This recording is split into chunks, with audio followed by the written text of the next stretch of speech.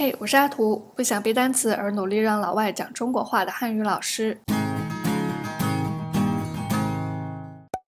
在十几年前决定教汉语以后，我就一直在担心一个问题：我自己英文不好，中国文化常识也做不到说啥都会，怎么教老外说中文呢？万一他们的问题回答不了，作为汉语老师可太丢脸了。在研习教育学理论和一线教学实践以后呢，对于丢脸这件事，我是看开了。我是汉语教师，又不是汉文化研究学家，在能力和精力范围内，尽可能了解我能了解的部分。作为语言教师，我传授给学生的是语言学习。技能，而不仅仅是语言知识本身。在我的教学目标里，一直保留着这样一项：该技能是否有益于学生未来学习、生活和就业。那么，即使我不知道某个知识，或者没有哪个具体的经验，也能跟学生一起去探索和交流，实现教学相长。在英语学习方面，我最近在各视频平台都发布了不背单词学英语的上中下三篇内容。视频里我说到，公开场合用英语表达自我，最重要也最难的。往往不是语言本身，而是突破恐惧、开口表达这个行动。对于汉语教师来说，看开丢脸，用英语自由表达以后要做的是用合适的英文介绍中国和中文。我这里推荐四本书，如果你有更多有意思的书影音推荐，请分享在留言板里，谢谢。第一本是 Word by Word 朗文日常情景单词书，英汉双语版。这本书把日常情景分为十七个类别，每个类别底下又分为。为若干个主题，每个主题一到两页，用图文对照的方式学习单词，也配有相应的句型练习。这本书是美国 Pearson 出版的，用的都是美式单词和句型表达。有英式英语学习需求的老师们，最好对照英英词典或者其他辅助工具进行对照学习。没有特定汉语教材的老师们，也可以把它作为课程设计的参考。这里是目录。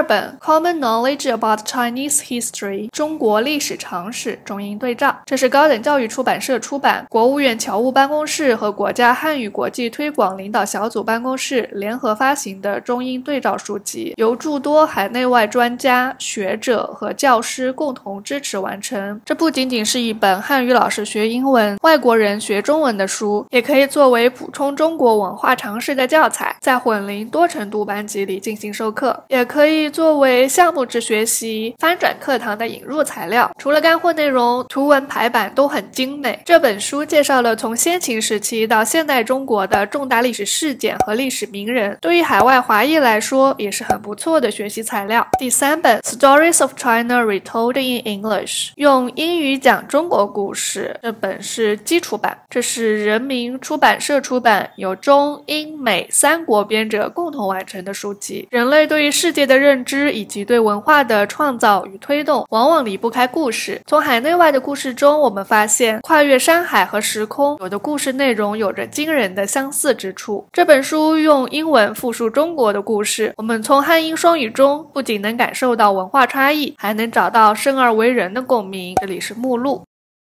下一本是 Talk About China in English，用英语介绍中国。这是中国水利水电出版社的可点读学习书籍。呃，我买的是二手书，不知道怎么实现点读的功能。它一共收纳了十大方面，一百多个主题，可以学习到有关中国常识的地道英文表达，还可以学习到有关某些内容，比如说地理啊，或者是文化啊之类的专业的术语，还有英文单词、句型对。话总结等等，非常适合用英语学习为目的的中文老师们。这里是目录，我是阿图，相信教学相长，坚持有教无类。我们下期再见，拜拜。